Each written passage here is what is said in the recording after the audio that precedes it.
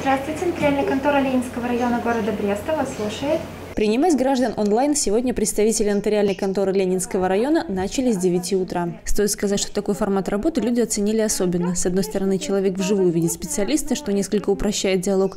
С другой, для того, чтобы получить компетентный ответ, ехать на прием не нужно. Достаточно иметь под рукой смартфон и доступ в интернет. В основном обращаются граждане в последнее время за оформлением наследственных прав, за удостоверением завещаний, по удостоверению брачных договоров, удостоверению соглашения о детях, соглашения о разделе э, имущества, нажитого супругами в период брака. Как правило, в дни консультаций э, мы стараемся консультировать всем коллективам, и нотариусы, и консультанты, чтобы каждый, кто пришел, скажем так, долго не ждал и Э, получил квалифицированную помощь. Оформление наследственных прав, составление завещаний, брачных договоров, отчуждение недвижимости – эти и многие другие вопросы поступали на адрес специалистов нотариальной конторы.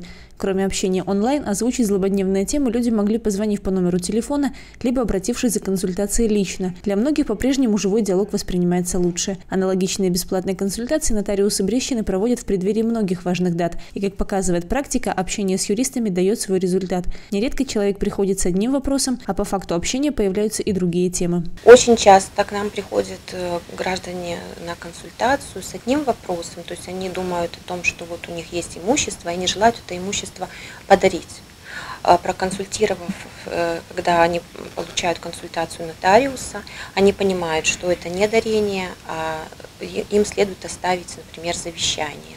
И, то есть, придя за одним вопросом, они э, думают о том, как поступить со своим имуществом и приходят к другому решению. И такие бывают ситуации. 2021 для нотариальной системы Беларуси пройдет под грифом нововведений. Все они призваны сделать юридическую помощь гражданам более доступной и качественной, в частности для тех, кто проживает в сельской местности. Граждане будут оформлять э, заявки либо в сельсполкомы, либо напрямую обращаться в нотариальную палату, и нотариусы будут выезжать э, в сельские советы для оформления таких документов что значительно, я считаю, улучшит качество обслуживания населения.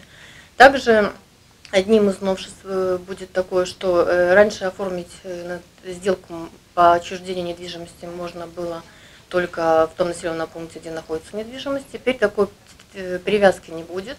И оформить либо куплю-продажу, либо дарение недвижимости можно будет у любого нотариуса по республике.